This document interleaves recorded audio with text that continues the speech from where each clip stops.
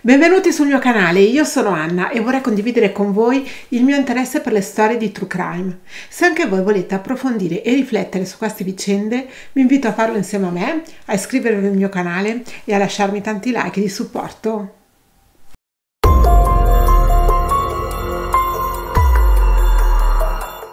Il brutale omicidio di una donna innamorata di un uomo disturbato, violento, la cui mente gli fa compiere atti assurdi di un uomo già condannato per omicidio, di un uomo già ricoverato in istituti psichiatrici giudiziari, ma lasciato libero di seminare altra follia. Oggi vi racconto la cronaca di una morte annunciata. Vi racconto la storia di Federica Giacomini.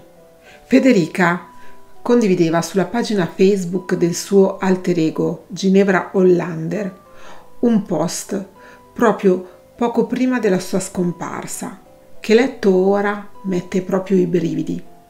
Se amate senza suscitare amore, vale a dire, se il vostro amore non produce amore, se attraverso l'espressione di vita di persona amante voi non diventate una persona amata, allora il vostro amore è impotente, è una sventura.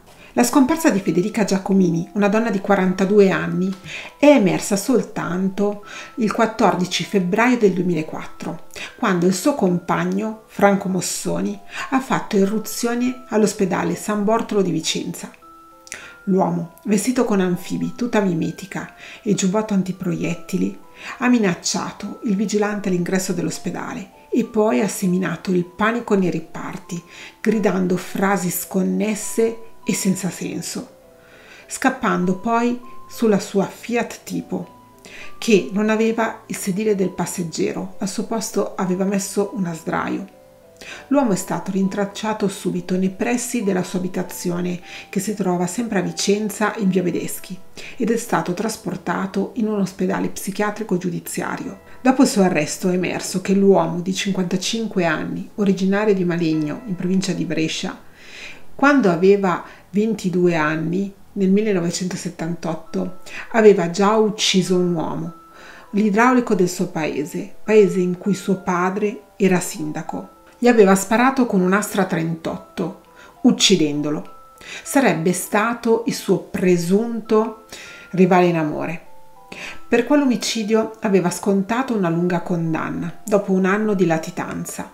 Da allora la vita di Mossoni era costellata da guai giudiziari e l'uomo aveva fatto avanti e indietro tra carcere ed ospedali psichiatrici giudiziari un uomo disturbato la cui mente gioca brutti scherzi e gli fa compiere gesti assurdi, come quello di una rapina compiuta con una parrucca enorme. Mossoni era solito travestirsi e cambiarsi d'abito. In seguito al ricovero del Mossoni, dopo quell'irruzione all'ospedale San Bortolo di Vicenza, gli inquirenti perquisiscono il suo appartamento, dove trovano centinaia di fogli che riportano frasi deliranti una pistola giocattolo, due balestre, un'infinità di coltelli di tutti i tipi, diversi flaconi di medicinali e diversi flaconi con sostanze chimiche. All'interno di quell'appartamento però gli inquirenti fanno una scoperta che gli fa suonare un campanello d'allarme. Scoprono infatti che l'utenza del cellulare del Mossoni e il contratto d'affitto di quell'appartamento sono intestati ad una donna, Federica Giacomini.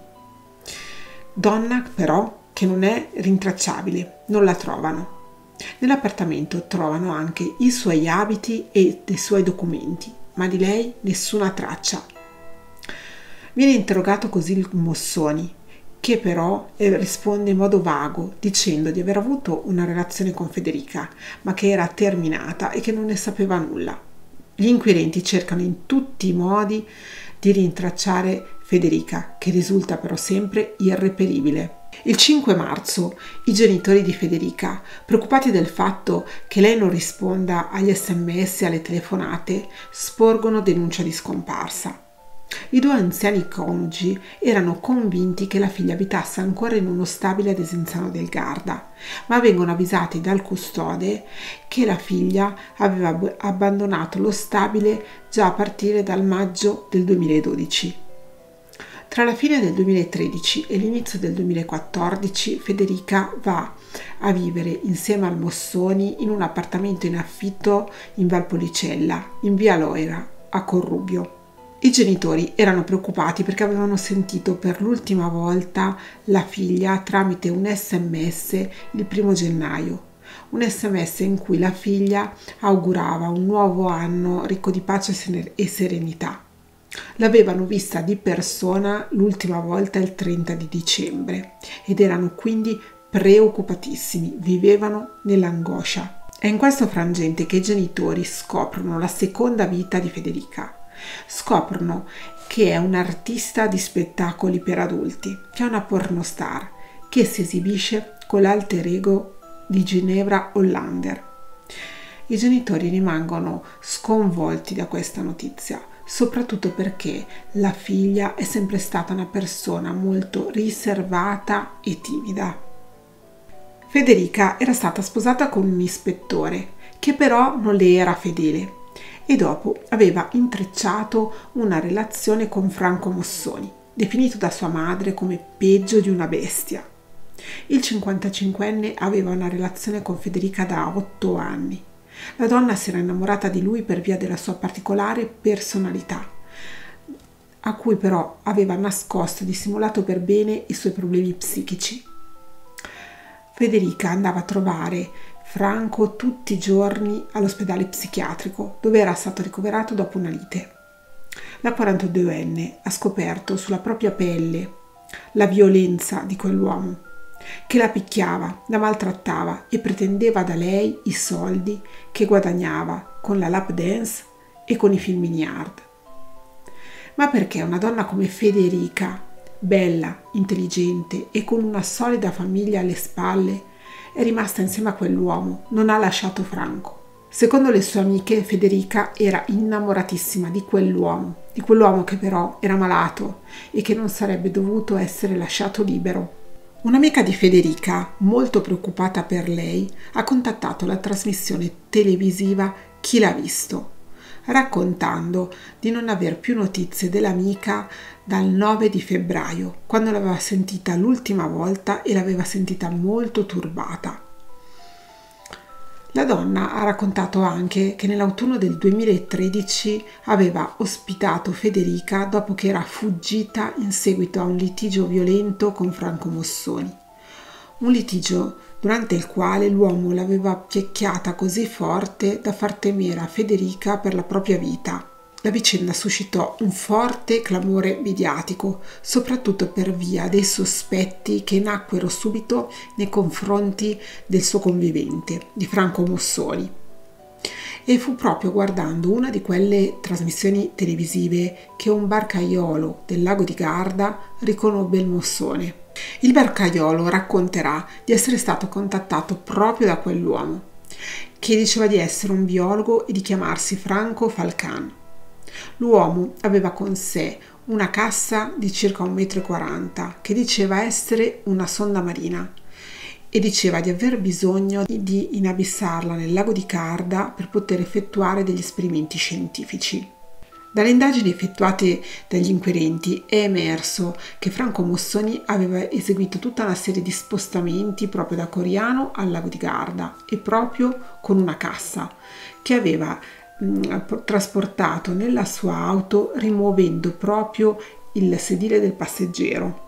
Un altro elemento che aveva fortemente insospettito gli inquirenti è stato il ritrovamento dell'auto di Federica, un Opel Tigra. Mossoni aveva avuto infatti un incidente quando era a bordo dell'auto della sua compagna. Era andato a sbattere contro un cancello di una villa a Pescantina, in Viale Verona. L'uomo quel giorno stava guidando così forte che quando ha mm, imboccato una rotonda aveva perso il controllo dell'auto finendo su quel cancello. L'uomo inizialmente aveva preso accordi col proprietario della villa per risarcirlo dai danni e sembrava una persona seria ed equilibrata, fino a quando si è capito che Mossoni non aveva la minima intenzione di risarcire il danno ed aveva mandato a quel paese il proprietario della villa. Quell'Opel Tigra senza bollo e assicurazione era rimasta parcheggiata per mesi davanti a casa in uno spiazzo e al suo interno c'erano degli attrezzi da lavoro degli attrezzi di Mossoni che non si è mai capito in realtà che lavoro facesse perché a volte diceva di essere un operaio e a volte diceva di essere un idraulico. Il 17 giugno del 2014 a Brenzone, sul lato veronese del lago di Garda, è stata recuperata quella cassa di plastica dai sommozzatori della polizia e al suo interno c'era un cadavere avvolto da del cielo fan nero avvolto dal nastro adesivo. La cassa si trovava a una profondità di 100 metri e le ricerche sono durate per giorni. Sono state effettuate con l'utilizzo di strumentazioni scientifiche e di ecoscandagli.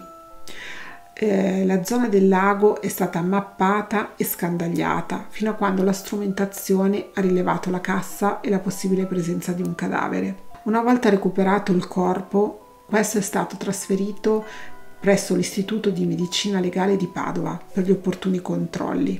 Il riconoscimento del cadavere è avvenuto il 18 giugno, il giorno successivo, da parte del legale della famiglia Giacomini. Il cadavere è stato riconosciuto principalmente dal fatto che Federica aveva una menomazione ad una mano.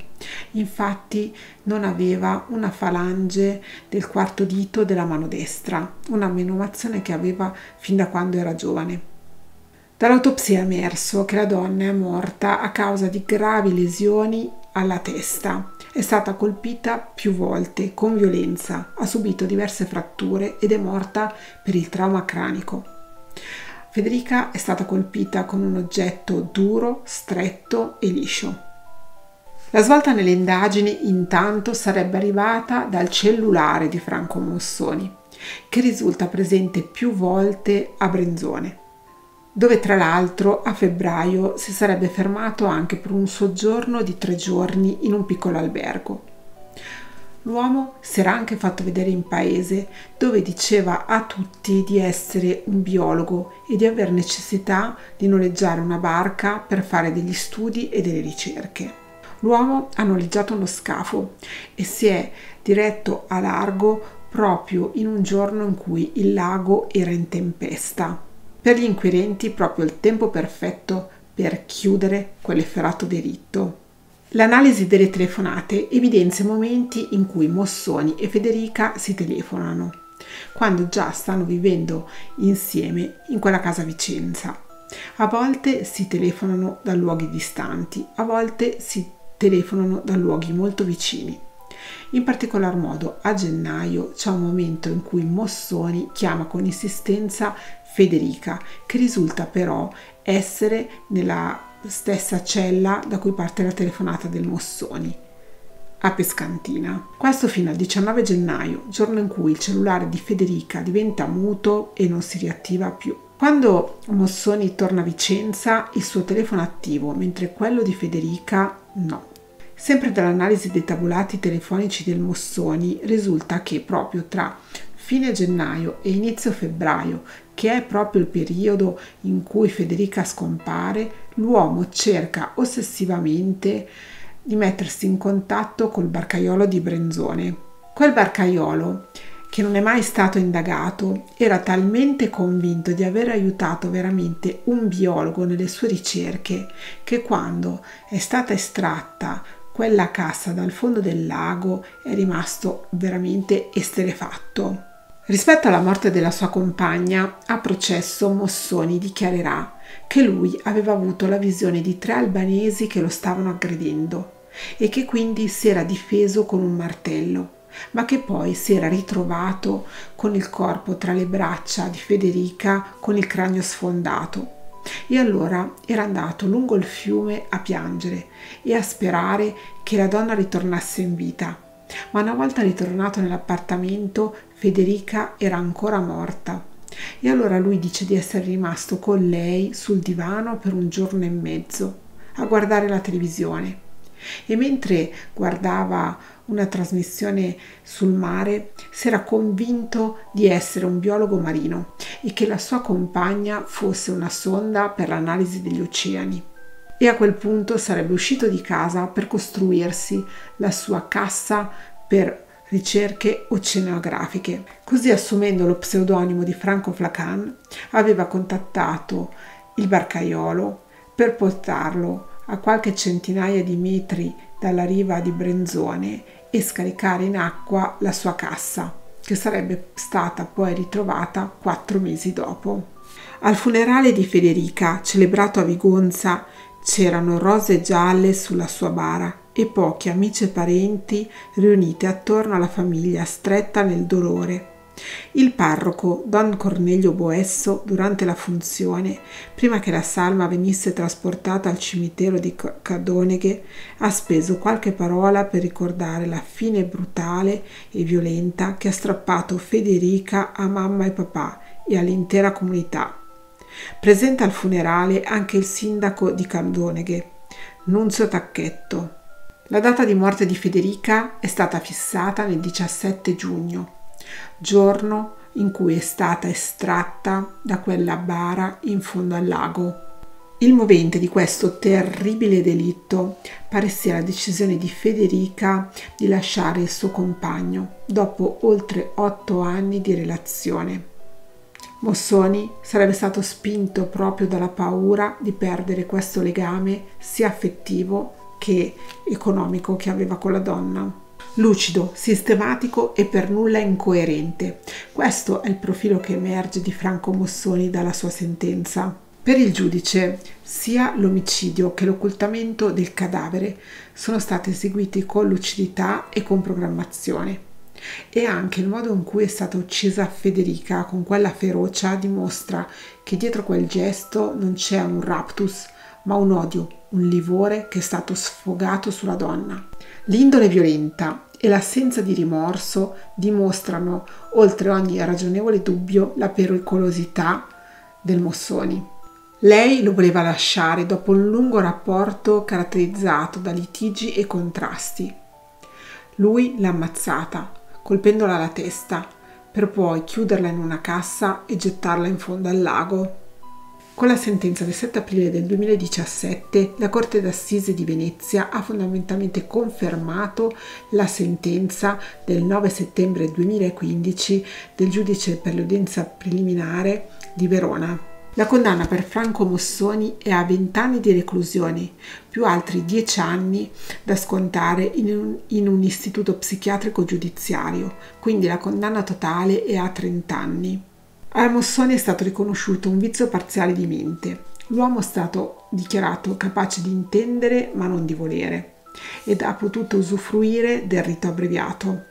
Ai familiari è stato riconosciuto il risarcimento di 200.000 euro, ma ai due anziani genitori nessuno potrà mai restituire la loro figlia. I coniugi fanno sapere tramite il loro legale che loro non sono interessati a sapere quanti anni di reclusione dovrà scontare il Mossoni, ma vogliono essere sicuri che l'uomo non possa più far male a nessun'altra donna, come è successo alla loro figlia. I genitori hanno fatto sapere di voler chiedere anche un risarcimento civile nei confronti delle istituzioni che hanno dichiarato sano Franco Mossoni prima che lui ci desse in quel modo Federica Giacomini. Mi auguro che questo video sia stato di vostro interesse. Io vi aspetto sempre qui, sempre domenica alle 10. Un bacione, ciao!